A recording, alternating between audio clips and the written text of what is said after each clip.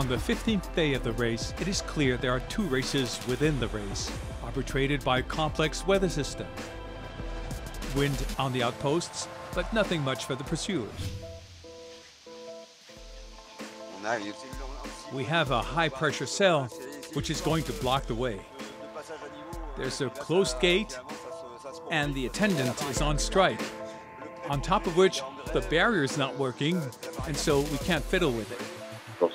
Sure closed itself, darn tight. Slam! Ahead, they're dashing like crazy. We're gonna have 2,000 miles delay by the time we access the south. Can you imagine? And it's gonna be worse for the ones behind. How awful. Oh, the weather. I Can't figure it out. I have no idea which way to go. From a sporting point, he's still in the lead. Let's note Alex Thomson's stout resistance despite the loss of a foil.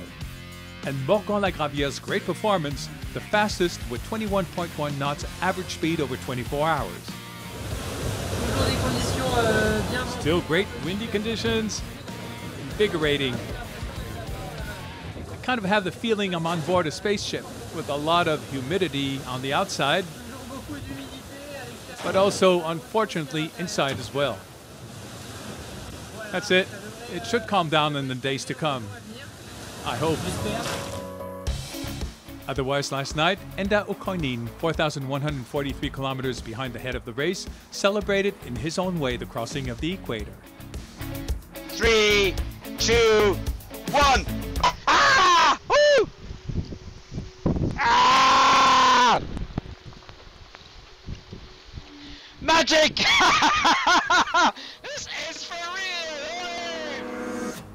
Tonight, there are only two skippers left in the Northern Hemisphere Didac Costa and Sébastien Destremau, stuck up in the doldrums. Not a breath of wind since last night. Not the slightest sigh. Nothing.